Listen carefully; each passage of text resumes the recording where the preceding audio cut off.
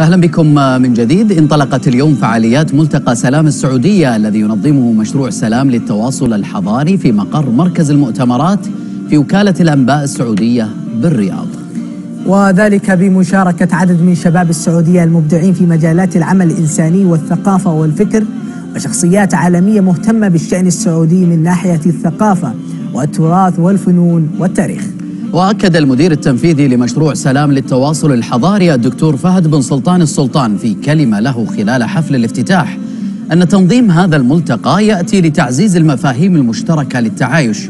ولتجسير التواصل بين المجتمع السعودي والمجتمعات الأخرى والتعريف بالعمق الإنساني والإرث الحضاري للمجتمع السعودي والتعايش عبر التاريخ مع مختلف الأعراق والثقافات والديانات المختلفة. وبين أن مشروع سلام للتواصل الحضاري المنظم لهذا الملتقى تأسس في عام 2015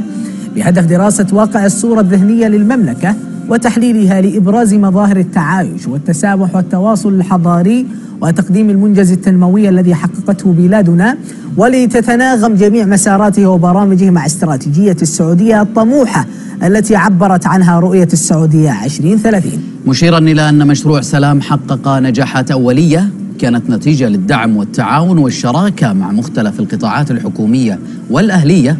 وبصورة خاصة مع عدد من الباحثين المتميزين ومن عدد كبير من الشباب والشابات الذين آمنوا بأن واجبهم الوطني هو تقديم أفضل ما لديهم من الخبرات والأفكار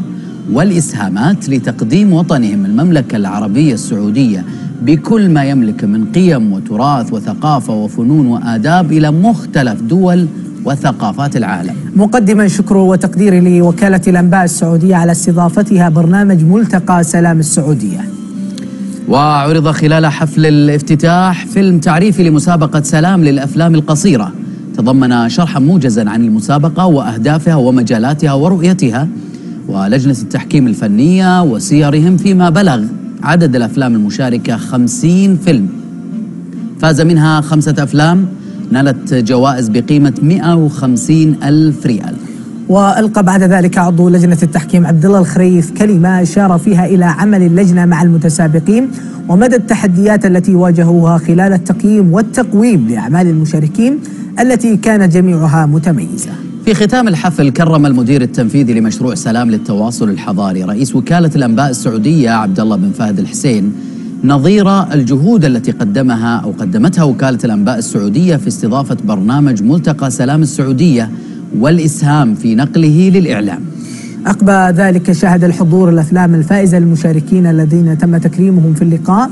وهي خمسة أفلام من بينها أفلام للطلاب المبتعثين في عدد من الدول منها أمريكا والمملكة المتحدة وأستراليا وكذلك اليابان.